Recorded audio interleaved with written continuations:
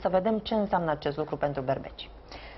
Pentru berbeci, de fiecare dată când este lună nouă, este un nou început. Ei abia așteaptă ei chiar să sunt fie începutul, exact. Da? Ei reprezintă începutul, ei sunt pionierii zodiacului și abia așteaptă o nouă oportunitate pentru a face un pas într-o direcție pe care n-au mai urmat-o cu altă ocazie.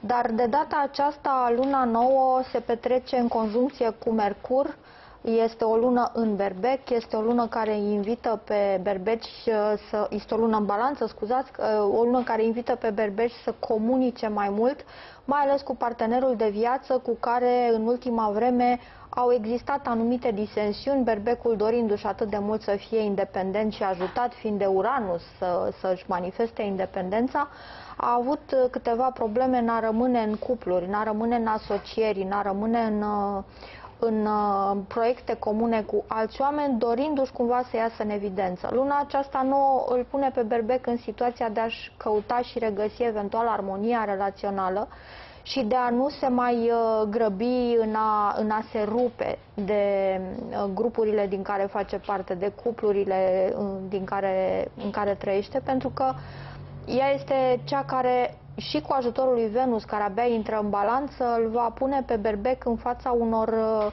situații în care să înțeleagă că totdeauna pacea este de preferat războiului. Așa este. Să vedem din punct de vedere profesional, uh, Vanda, care ar fi reperele cele mai importante? Într-adevăr, sunt câteva aspecte foarte frumoase care cu siguranță vor avea repercusiune asupra nativilor berbec. Uh, vorbim aici despre trigonul uh, foarte frumos Uranus-Saturn, Uranus în semnul lor, Uranus, nodul nord și nodul nord-Saturn. Și luna neagră, sigur că da. Deci iată cât de frumos acest uh, are triunghi, triunghi major uh, pentru, pentru ei, uh, arată cu siguranță oportunități, ocazii de a se ramifica, de a uh, avansa profesional, de a uh, avea un alt mod de a privi o idee de structură până până la urmă. Este foarte bine pentru ei pentru că pe casa 6 au Marte și Venus. Deci da. exact la locul de muncă ei exact. pot să manifeste inițiativă Chiar și pot dacă să tensionate destul de urât de Saturn, dar asta nu înseamnă decât că ar trebui să facă ordine din haos.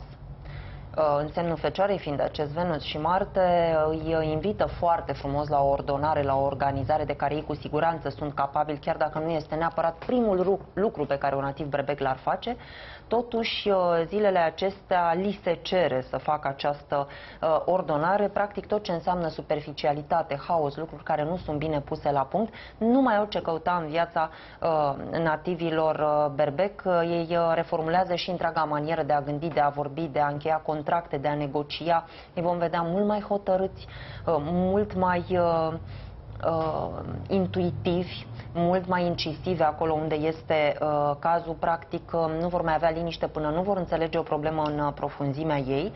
Și de asemenea vom observa tendința de a insista asupra oricărei potențiale tendințe sau consecințe mai exact negative. Deci dacă un nativ berbec va intui într-un anumit domeniu că poate exista o consecință negativă, vom vedea că va insista foarte mult pe acea problemă. Practic, nu vor merge mai departe până când nu vor uh, identifica de ce au senzația asta, chiar dacă este vorba doar de o despre o senzație.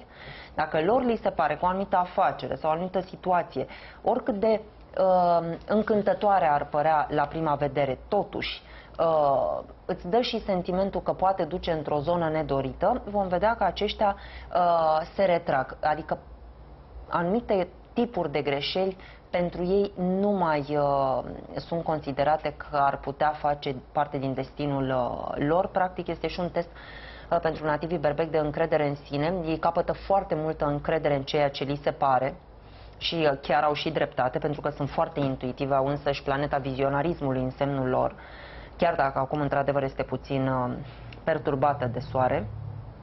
Dar uh, acest lucru nu îi face decât să deschidă ochii mai mari acolo unde uh, ceva îi provoacă. Mai ales Saturn îi face să deschidă ochii mari pentru da. că el uh, fiind acolo de pază le dă practic acces la un tip de înțelepciune pe care, de care uneori chiar se feresc berbeții și de aceea e bine, așa cum spuneai și tu, să-și asculte foarte mult intuiția și când glasul interior le spune că nu este chiar momentul să facă un pas să-l asculte pe acela pentru că Saturn de fapt le întinde și câteva capcane prin Uranus îi face cumva să, să meargă pe niște căi care par facile. Lui Saturn nu-i place absolut deloc să se sară etape. De aceea berbecii, cum spuneai și tu, ar trebui să aibă disciplina aceasta a, a um, evoluției în etape mici și, și bine, bine gândite, puțin și, în prealabil. Da, și o focalizare deosebită și pe aspectul Uranus-Marte, Uranus-Venus, care nu este deloc de neglijat.